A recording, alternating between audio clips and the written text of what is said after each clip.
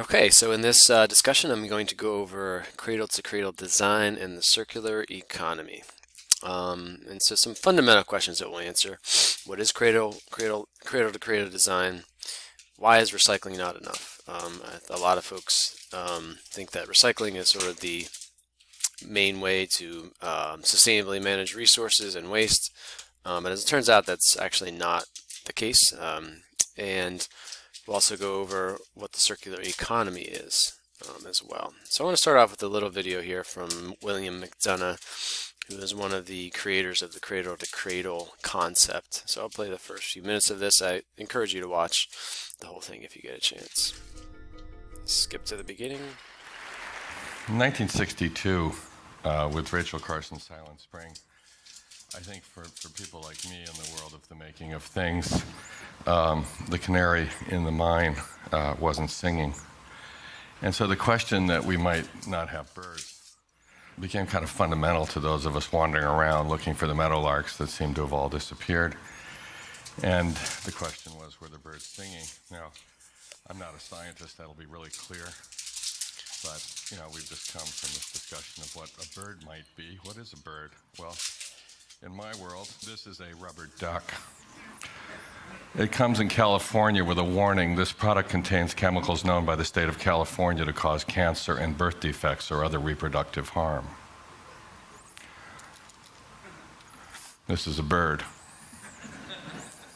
What kind of culture would produce a product of this kind and then label it and sell it to children?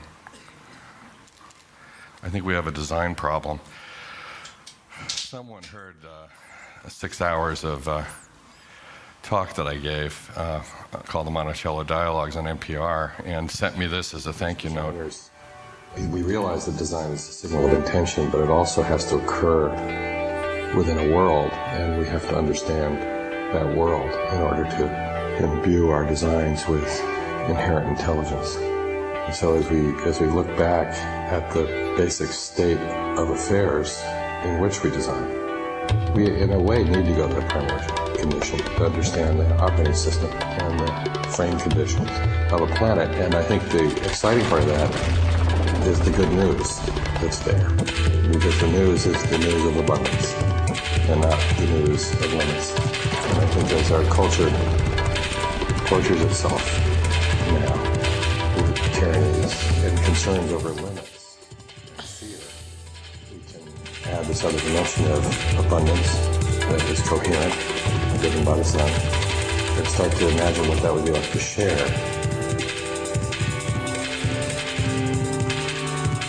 It was a nice thing to get. That was one sentence. Uh, Henry James would be proud. This is, uh, I put it down at the bottom, but that was extemporaneous, obviously. The, the fundamental issue is that for me, design is the first signal of human intention. So, what are our intentions? and what would our intentions be if we wake up in the morning, we have designs on the world? Well, what would our intention be as a species now that we're the dominant species? And it's not just stewardship and dominion debate, because really, dominion is. Uh, uh, is implicit uh, in stewardship because how could you dominate something you'd killed? Stewardship's implicit in dominion because you can't be steward of something if you can't dominate it. So the question is, uh, what is the first question for designers? Now, as guardians, let's say the state, for example, which reserves the right to kill, the right to be duplicitous, uh, and so on. Uh, the question we're asking the guardian at this point is: Are we meant? How are we meant to secure, secure local societies, create world peace, and save the environment? But I don't know that that's the common debate. Um, Commerce, on the other hand, is, is relatively quick, uh, essentially creative, highly effective and efficient, and, and fundamentally honest because we can't exchange value for very long if we don't trust each other. So we use the tools of commerce primarily for our work, but the question we bring to it is how do we love all the children of all species for all time? Okay, so I think I'll, I'll leave it there. Um, I encourage you to watch the rest of the video. He provides some examples of how they've deployed the cradle-to-cradle concept into some different products and some even some buildings and so forth. Um, but I think that that question is a really good fundamental question to sort of let you know marinate and um, you know, sort of linger as we go through this content, and that is how do we love all children of all species for all time? Um, and also, what is the what is the first question? What is the design question? Um, and I and and that's it's really important, you know, before we move on, for you to, to think about um, the importance of the intent of the design of products, uh, goods, and so forth, and how that intent Im impacts, you know, the results. So if you think about what are the what's the intent, what's the purpose of most of the products that you see, it's really to make a profit right? Now, of course, there are things, you know, they're providing a service, and there's you know medical technology, and there's um, you know food production and all that sort of stuff. So it certainly benefits people, but the intent of the product really is to succeed in the market. And in in the marketplace, as we know, we've gone over a few times, the what drives the market is the the um, um, you know looking for profit, right? And so if profit is your design intent. That's really the intent of building building something or designing something. Is, as we've seen, you know, there's all other things that can happen as a result. If like profits this thing that you're trying to achieve, and you, it's easy to forget all these other impacts of that product. You know, all those externalities, the health externalities, the environmental externalities, and so forth. And so it's really fundamental to all of this, to the cradle to cradle and the circular economy concepts in particular, that we need to, you know, we need to design them in a totally different way. We need to totally rethink how we design uh, products. So cradle cradle design, if you think about the term itself, let's contrast it first with cradle to grave. So cradle to grave, that's that linear resource flow. Okay, we've talked about this before. Extraction, manufacturing, disposal. It's that take, make, waste sort of thing, where we extract you know raw materials, we manufacture it, we sell it, we use it, and we just throw it out, right? So cradle to grave, and it's like linear. Um, and it uses mostly non-renewable energy sources, um, and the toxicity of these um, goods are generally not considered. I mean, there's obviously some considerations, but um, with cradle to cradle, we need to rethink that whole process and use renewable energy in these safe, regenerative, closed loop cycles. Okay, so it's circular resource use. It's, you know, instead of that linear flow, it's that circular flow, right? Like we take whatever was the waste and we reuse it and reintegrate it safely into the system. But also they want to, uh, the goal is to use 100% renewable energy. So that's also something that we can continue um, indefinitely. Um, and so again, they you know this is really a systems concept. Um, commercially productive, socially beneficial, ecologically intelligent, right? So it's kind of like the three E's. Um, and that they, they mentioned that from an engineering perspective, the problem is uh, too often we just take these products and we design them to do something without any thought for what to do after its useful life uh, is over. And so if we keep designing these products that are not the, from the outset designed to be recycled, renewed, reintegrated back into the system, then we're left with a bunch of waste. And, and as the, he says in there, we're um, we sort of have this incremental improvements. Like we put all you know put everything in plastic, right, with no thought for how you can reuse that plastic or if that plastic can be fully reintegrated back into the system. And so at the end, we have this waste that we need to figure out what to do with, and now we have recycling, which is imperfect, and you know a lot of the plastic is thrown out anyway. So if we keep designing things like that, and think about cars, right? They're not designed to be pulled apart, and you know the components uh, used for other vehicles. So we end up with this sort of incremental improvement, um, that they don't address these deep design flaws. So the design, as they say, is is is the uh, flawed, and again, the we need to rethink how we design from the very beginning.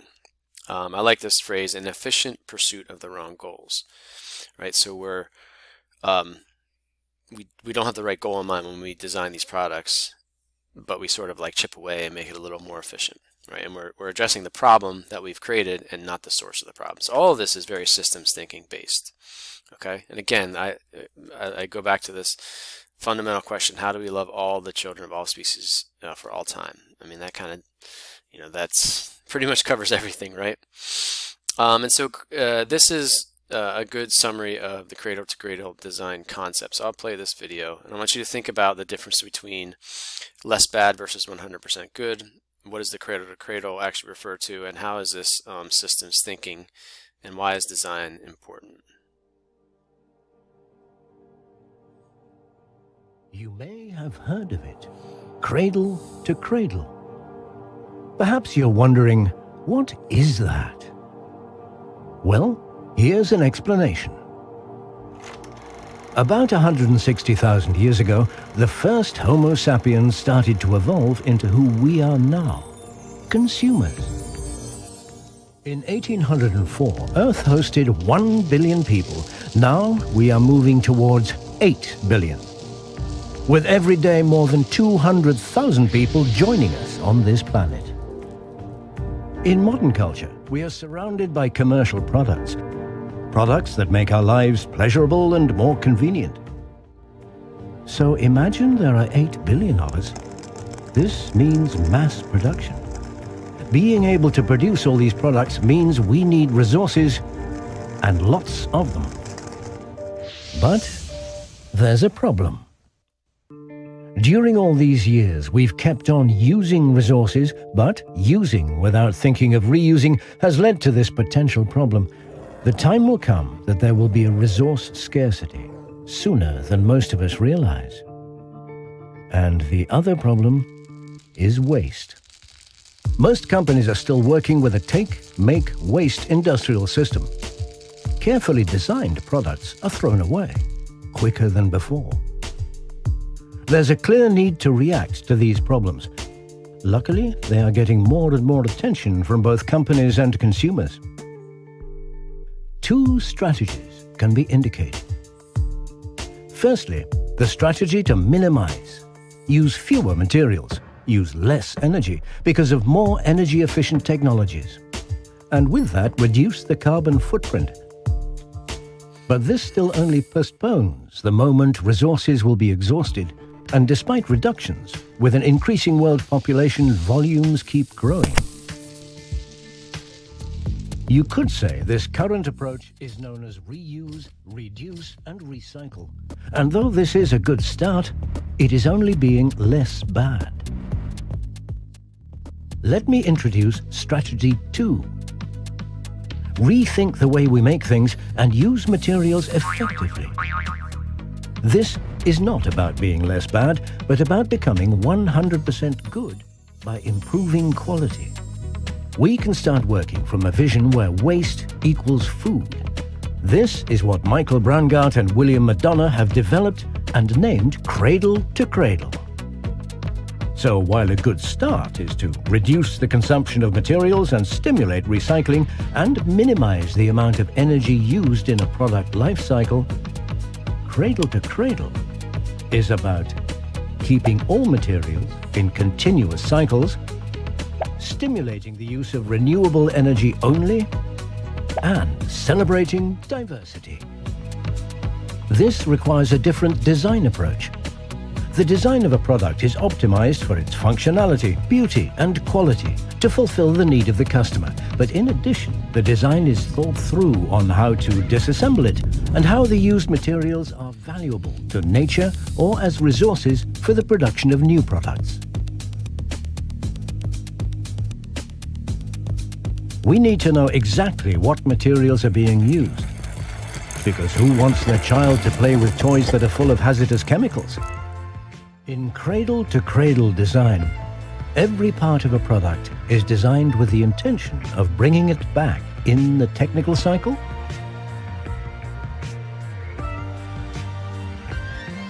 or biological cycle. Imagine that we no longer use materials, but we borrow them instead. Then waste would no longer exist. Apart from thinking about materials, cradle-to-cradle design also considers two other important aspects. Firstly, stimulate the use of renewable energy only did you know that every day the sun radiates more energy than the world has used since time began? Using only renewable energy means we can use it endlessly. Secondly, celebrate diversity. Look around you. Look at nature as the best example of diversity. Flora and fauna adapt to local situations and make use of local resources. With cradle-to-cradle design, companies can differentiate with innovative products and make money with 100% good stuff. Designed for its functionality, beauty and quality. Also, they will profit from cost savings and added value. Who benefits? You. Because wouldn't it be great if our children and children's children can enjoy the same quality of life or better because we set good intentions and have redesigned the way we make things. This is what motivates us. Regs. Inspire. Create. Act. Cradle to cradle. Okay, so that's a great video. It really describes um, the uh, intent Is a of cradle to cradle design. So cradle to cradle. Again, there's these sort of outlay, you know, uh, outlines these two strategies for resource use. One obviously better than the other. So the first one is use less materials and energy to do the same thing, right? So an efficient pursuit of the wrong goals, or less bad, right? So the reduce, reuse, recycle. It's like we make these products and we're like, okay, now we have all this waste. What are we going to do with it now? Okay, let's try to recycle. Maybe we can use. Maybe we can upcycle a little bit. But instead of doing that, the, the better approach is to just rethink how we design the materials in the first place, and we should design them to be fully reintegrated back into um, the system, right? So the, the idea that waste should no longer is, exist to the extent possible. um, and so this is a zero waste concept. And, uh, you know, I, I find it interesting that you know we kind of have a sense of this biological cycle you know if if we have um, like composting or we know that if we take you know an apple core and we throw it out in in, in the grass it's going to biodegrade it's going to go back you know go back into the soil the bugs will eat it and the microbes and all that sort of thing so those are those biological cycles like we have a sense of that we know that people grow and you eat food and all that sort of thing um, but uh, what i think is you know, kind of innovative about one of the innovative things about Cradle to Cradle is they um, extend that concept to the technical cycle. So, like, if we think about all these things around us that are made of organic material, we know that they can be reintegrated back into the environment.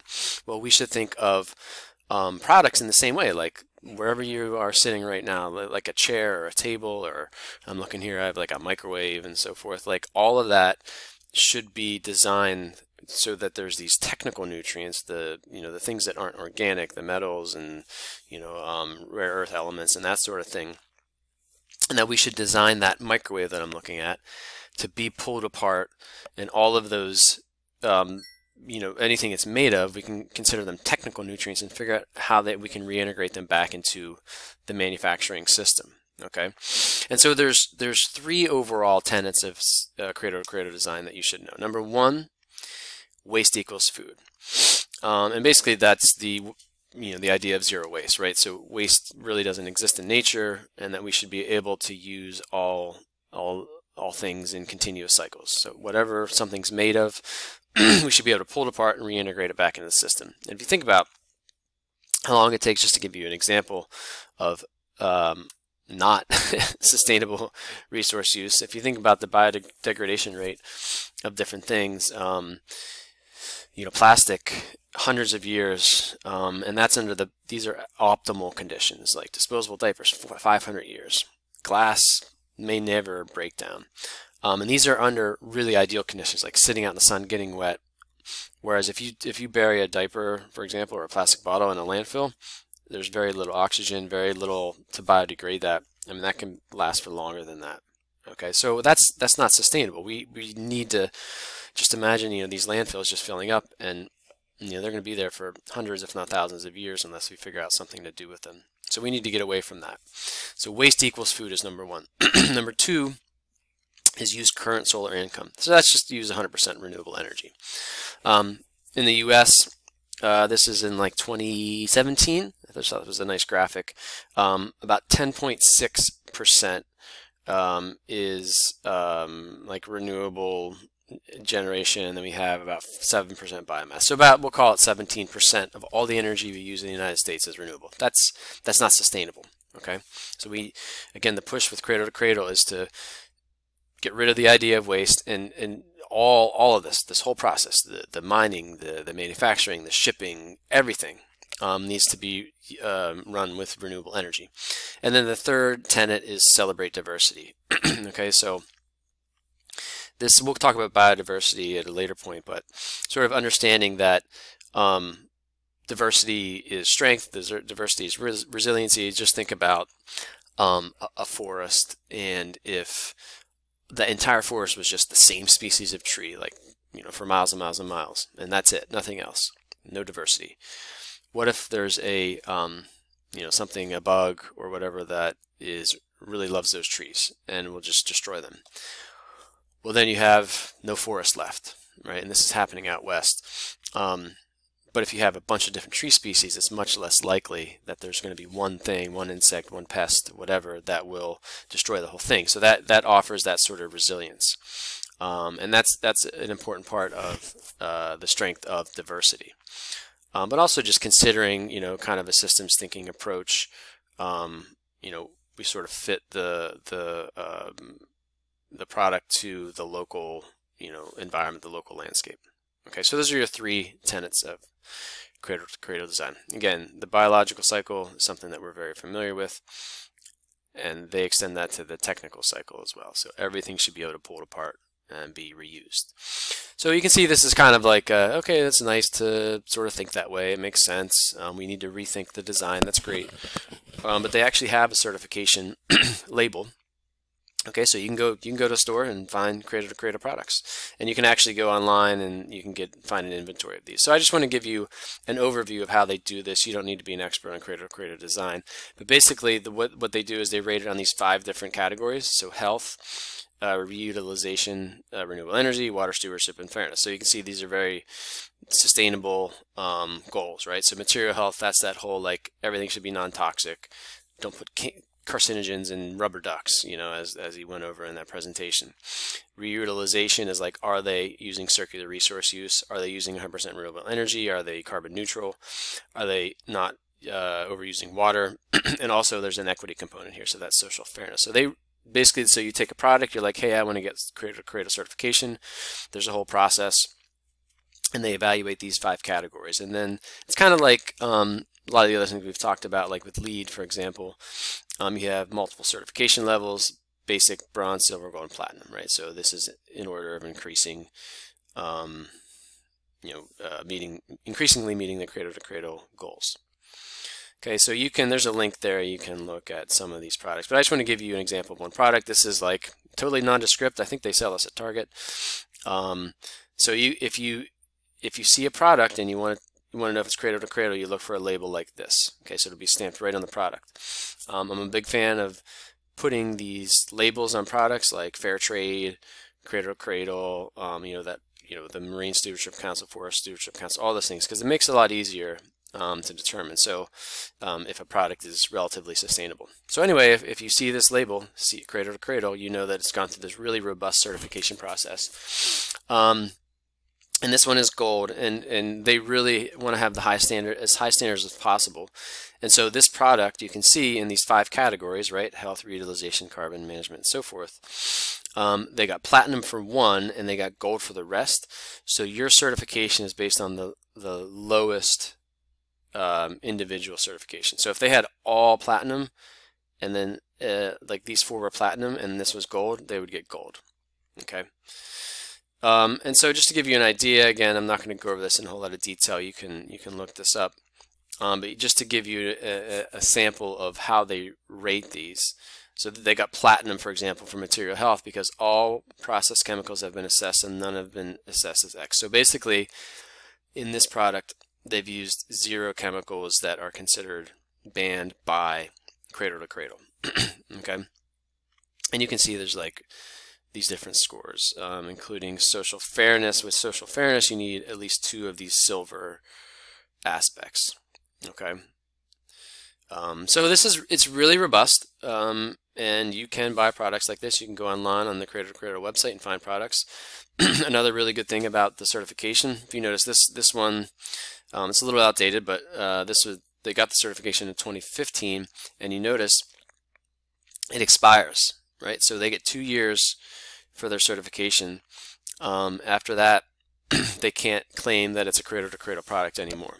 So you have to constantly get recertified, and the idea there, in addition to probably making more money for the cradle to cradle uh, certifiers, um, I'm sure that was, uh, you know, not a, um, I'm sure that was considered. Let's put it that way.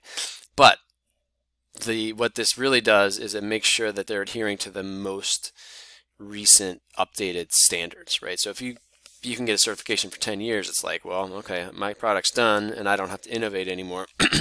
but if it, if it um, expires in two years, that, that forces you to really make sure that you're keeping up with the latest standards. So again, you can buy these products in a store. Um, you can find them pretty much all over the place. Okay, so that's your cradle to cradle certification. So the last concept we're going to go over here is the circular economy, which is it's it's sort of similar, um, but you'll see it's a little bit different. So I'll play this video from the uh, MacArthur Foundation. And continue to Oops, let me get back here. Let's go. Have been around for a few billion years and will be around for many more. In the living world, there's no landfill. Instead, materials flow. One species' waste is another's food. Energy is provided by the sun. Things grow, then die, and nutrients return to the soil safely. And it works. Yet as humans, we've adopted a linear approach. We take, we make, and we dispose. A new phone comes out, so we ditch the old one. Our washing machine packs up, so we buy another. Each time we do this, we're eating into a finite supply of resources and often producing toxic waste. It simply can't work long term. So what can? If we accept that the living world's cyclical model works, can we change our way of thinking so that we too operate a circular economy? Let's start with the biological cycle. How can our waste build capital rather than reduce it? By rethinking and redesigning products and components, and the packaging they come in, we can create safe and compostable materials that help grow more stuff. As they say in the movies, no resources have been lost in the making of this material. So what about the washing machines, mobile phones, fridges? We know they don't biodegrade. Here, we're talking about another sort of rethink. A way to cycle valuable metals, polymers and alloys so they maintain their quality and continue to be useful beyond the shelf life of individual products. What if the goods of today became the resources of tomorrow? It makes commercial sense. Instead of the throw away and replace culture we've become used to, we'd adopt a return and renew one where products and components are designed to be disassembled and regenerated. One solution may be to rethink the way we view ownership. What if we never actually owned our technologies? We simply licensed them from the manufacturers. Now, let's put these two cycles together. Imagine if we could design products to come back to their makers their technical materials being reused and their biological parts increasing agricultural value. And imagine that these products are made and transported using renewable energy. Here we have a model that builds prosperity long term. And the good news is, there are already companies out there who are beginning to adopt this way of working. But the circular economy isn't about one manufacturer changing one product. It's about all the interconnecting companies that form our infrastructure and economy coming together. It's about energy. It's about rethinking the operating system itself. We have a fantastic opportunity to open new perspectives and new horizons. Instead of remaining trapped in the frustrations of the present, with creativity and innovation, we really can rethink redesign our future. okay, so I just love the circular economy concept. I really think it just makes sense, right? I mean, of course, we live on a finite planet. Like we can't keep using non-renewable resources. You know, if you if you throw something away, is there really such a thing as a way? You you you you put it somewhere else, right? So it doesn't go away; it just goes somewhere else. So we need to rethink that whole thing. You can see a lot of very similar concepts to the cradle to cradle, 100% renewable energy, circular resource flows. I'm doing them in like you know uh, ways that can be reintegrated back in the technical you know the technical cycle. So it's a very similar concept. Um, I think the one the one thing that you know the it sort of the one way it sort of differs um, is this idea that um, a big part of the circular economy concept is this one where you you tend to get away from this ownership model. Um, and if you think about it, do you really want to? Do you need to own a washing machine? Is there any benefit to actually owning a washing machine, or do you really just need to wash your clothes and you know in a convenient in a convenient way? I mean, same thing goes for refrigeration. Like, do you really does your refrigerator status symbol like do you need you know you know what do you really need a refrigerator or do you just need to keep things cold? And probably the the most prominent example of this, um, I mean, I remember a time when before Uber, right before Lyft, if you wanted to, you know, get that service, it was a cab company, so there were still taxi cabs, but the if you think about it, um, you know, this uh, Uber and Lyft and so forth, that's a circular economy concept because, I mean, really, do we need a car per se? I mean, it sits in your driveway or in front of your house or in your garage 95% of the time. Do you really need that, or do you just need to get from A to B? And so rethinking the car ownership model, that's a kind of commonplace now. I mean, a lot of folks, especially in, in urban areas, um, they don't really need to own a car. So um, that's a circular economy concept. Okay.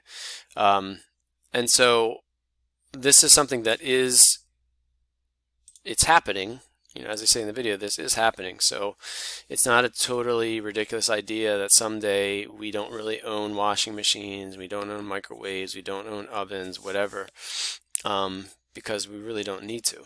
Um, but you have to, in order for that to really work, you have to um, adhere to the 100% renewable energy and make sure everything is um, used in closed uh, resource loops.